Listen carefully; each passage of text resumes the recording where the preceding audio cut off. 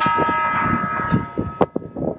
I Mori dalla torre dell'orologio di Venezia scandiscono il nuovo orario di chiusura di bar e ristoranti. Piazza San Marco alle 18 è già praticamente deserta. Pochi curiosi e turisti guardano l'acqua che esce dai tombini e crea l'effetto specchio. I camerieri dei celebri bar che si affacciano sulla piazza hanno raccolto le ultime ordinazioni al volo intorno alle 17.30, poi rapidamente hanno sistemato tavoli, ombrelloni e sedie, ma molti bar non hanno neppure riaperto. I turisti sono pochi e la spesa non vale l'impresa.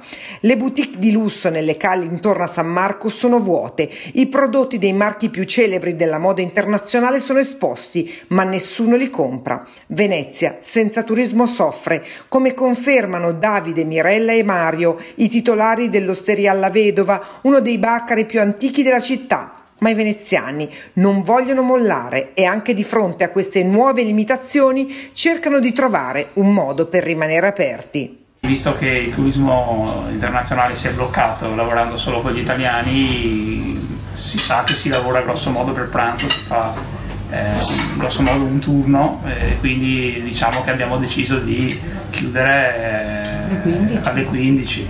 Eh, e di tenere aperto nel giorno di esatto. chiusura, il nostro giorno di chiusura esatto. è il giovedì. Piuttosto che, buttare, piuttosto che sprecare ore eh, di apertura per non fare nulla, abbiamo deciso di togliere diciamo, il giorno di, di chiusura e, e di fare un pranzo in più fondamentalmente. Nei campi della Movida i tavolini sono quasi vuoti, qualche studente si attarda a bere uno spritz.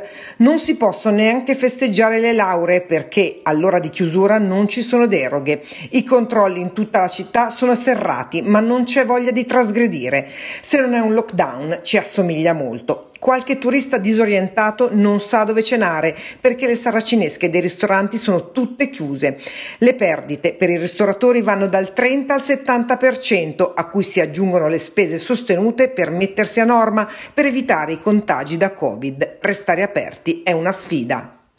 Noi siamo positivi, nel senso che ce la faremo, ce la faremo sicuramente, sì, sì, assolutamente. Noi per male siamo una realtà affermata, siamo uno dei bacari più, più, più antichi, se non il più antico di Venezia, quindi insomma abbiamo le spalle grosse e comunque l'affluenza c'è. E... Avere un po' di pazienza, sì, sì, esatto. deve passare questa, questa calamità.